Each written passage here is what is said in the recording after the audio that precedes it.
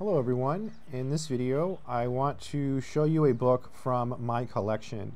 So I collect all kinds of books and this one is called Numerical Methods in Fluid Dynamics. So this is a math and physics book kind of and it's extremely advanced. It's like the highest possible level. This is research level. This has actual uh, research papers inside it so it doesn't actually get any more advanced than this, right? Because that's where new things are discovered, right? When you publish a paper, it's it's something new, and then you know that's how uh, math and science progresses. So this is a collection of papers. Uh, also, this book was published by Mir Publishers Moscow, which is or was a publishing company in Soviet-era Russia, Russia, and they would take books written in Russian and translate them to multiple languages, and then schools all over the world would, would use these books. So this one is called Numerical Methods in Fluid Dynamics. It was edited by N.N. Yanenko and U.I. Shokin. Advances in Science and Technology in the USSR. Cool. And then here it says Mir Publishers Moscow. Let's, re let's read the back. This is where it gets, this is how you can tell it's hardcore. And then we're going to open it up and then just like take a look at the inside of the book. Numerical Methods in Fluid Dynamics. This book is a collection of original papers by leading Soviet experts in numerical, see if I can zoom in here, here we go, numerical simulation of complex fluid dynamic processes. The authors discuss a wide variety of models, incompressible fluid, plasma, overpressure, and large deformations which produce shock waves and develop instabilities taking into account the effects of thermal radiation and viscosity that lead to the formation of boundary layers. Wow, really, really uh, advanced stuff, right? Really advanced. So let's open it up. See what we have. See what's in the book. Advances in Science and Technology in the USSR Mathematics and Mechanics series. And here are the editors. Oh, here are the translators translated from the Russian by Vladimir Shakurov. That is a huge task. Translation edited by Aaron Hainsworth. I have various books, by the way, uh, Mir Publishers, Moscow. I have various books that were uh, translated from other languages. Um, I have one that I keep thinking about that I'm going to look at uh, later, maybe. It's uh, I have to find it though. It's one that was written by Henry Cartan, and it was translated from French. I actually have books that are in Spanish that were translated to, to from English. For example, um, Advanced Calculus by Fulks, F-U-L-K-S. I have a, a, copy in Spanish. So, you know, American math books also get translated to other languages uh, as well, and they're used in other countries, right? First published 1984. Cool. And then here, here are the contents. So it's basically just a collection of papers, right? So it, again, it doesn't really get uh, more advanced than this, right? It really, really doesn't. Let's take a look at these. So direct statistical simulation of problems in aerohydrodynamics. Wow. The splitting method for the numerical solution of problems in gas dynamics. So this is for mathematicians that are actively working on, you know, publishing papers uh, for, you know, in numerical methods in fluid dynamics. What's this say? Ex Experience in applied mathematics has shown that many classes of scientific problems, particularly in fluid dynamics, cannot be solved unless new methods of computational mathematics are developed. The development of efficient methods for solving fluid dynamic equations is important for many branches of modern science. This collection of papers gives the reader an insight into the state of the art of the numerical methods in fluid dynamics. And it talks about the papers. It goes through and talks about all the papers and what they what they do. Direct statistical simulation of problems in aerohydrodynamics. Wow, what a word, right? And then he, here are the people who who wrote this paper, right? That's so. I have other books like this too. I have one on um, oh, what is that book? It's like a it's a it's, it's like this thick. I should make a video on. I think I have already. It's a mathematical handbook. That's what it is. Yeah, it's like a big old mathematical handbook, and it has like doesn't have papers, but it has math knowledge. So it's, it's much easier to read than this one, right? This is uh, very very. This is not light reading. What's this? Shockwave shockwave structure comparison with numerical solution of the Boltzmann equation. And, and you wonder, you know, how much of this is now updated, how much is, oh, what's this? Oh, it's an errata. This is errata. That's cool. So basically, these are uh, mistakes. This, this can be useful.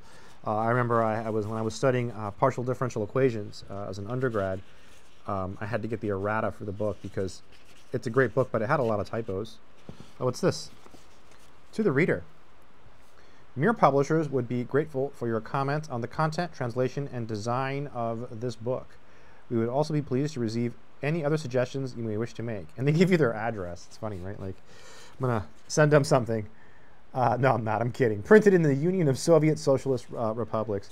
Uh, it's uh, interesting. I used to collect comic books, and a lot of the uh, nice smell on this one. A lot of the old comic books, um, they would have like little things where you can cut out um, like a coupon or something and mail it in to get free stuff, or like to sign up for something or to buy something. Um, so you always had to mail stuff in, you know. But yeah, you can see there's a lot of mathematics right? Approximations of Navier-Stokes equations. Hardcore, right? Lots of mathematics here. So this is probably, again, like, just again, this is the most advanced math and physics. This is, it doesn't get any harder than this, right? Because it's, because it's research level. Uh, when you're reading research papers, I've, I've read some, and it's, uh, it's very hard, right? It's, it's not, it's not easy. It's not easy you have to know a lot, and there's a lot of stuff. You know, it's like reading a, a super hard math book with like tons of content, but a little bit harder. Depends what you're reading, I guess, right? So, a simple iteration, correction methods.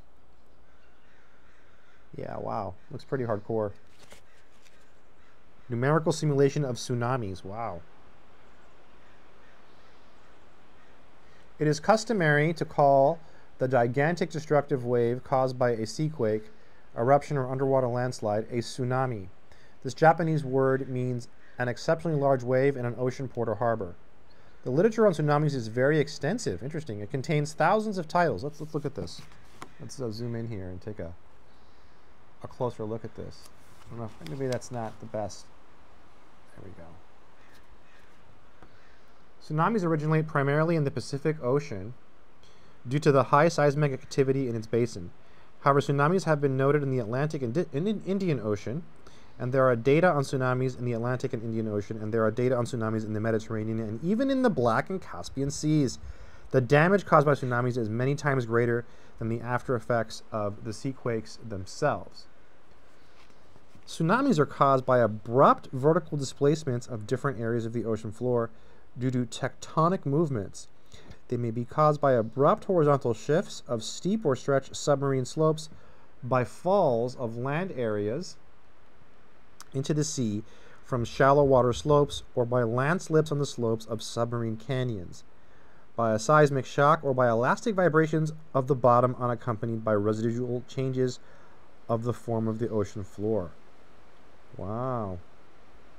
Wow, wow. Really, really cool stuff, right? So this is it's really quite interesting. Um, and it's funny, you know, you learn something by reading uh, a book that its intended audience is professional mathematicians and physicists who are publishing papers. That's why, you know, a, a lot of times if, if you're trying to learn something and you're thinking like, oh, I can't learn that yet because I have to learn this, just always remember this. If you want to learn to do something, you have to do that thing, right? So it's like, you know, if you want to learn calculus, you have to do calculus. Sure, the algebra matters and it's important. Sure, the trig matters and it's important, but like, just start, right? Just start doing calculus. Just start.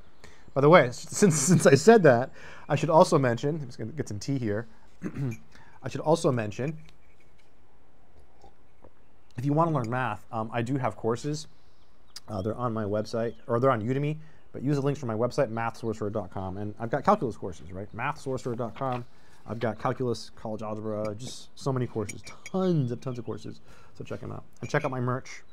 Boom. It's, it's pretty good. It's kind of small. It's kind of expensive, but it's pretty good. I know I can't make it bigger, right? So like, it's just like, it's the one that they allow me. I just put the image on the cup. It's merch, right? So, but it's pretty good. I've had this for a long time actually, and the quality is pretty good. So I, I approve of this cup. uh, even though it's a little small, which makes it good for tea. I'm drinking green tea right now with this cup, with this, uh, yeah, so. Hmm. Oh, that's good. It's pretty good. Probably going to make more. I'm starting to get addicted to the tea. Keeps you hydrated and it gives you like a small amount of caffeine. Um, not too much though, but yeah, kind of an interesting book, right? Um, these books, you know, I've, i collect. I'm, I'm like a really, really hardcore collector. I collect a lot of things, and uh, these Mir Publisher books are, are like some of my rarest books. They're not like super expensive. I say they're expensive, but they might be like 40 or 50 bucks, you know. I always think like someday they'll be worth thousands, you know, because I'm a collector. That's what, you know, like, oh yeah, this is like a priceless book. so in my mind, uh, a lot of the books I have uh, are, are, very interesting and rare. Not just these, but other books uh, written by uh, American mathematicians and people from other places. Um, yeah, so yeah, anyways, I hope it's a, uh, you enjoyed this video. Subscribe if you want and all that stuff. And uh, yeah, keep doing mathematics.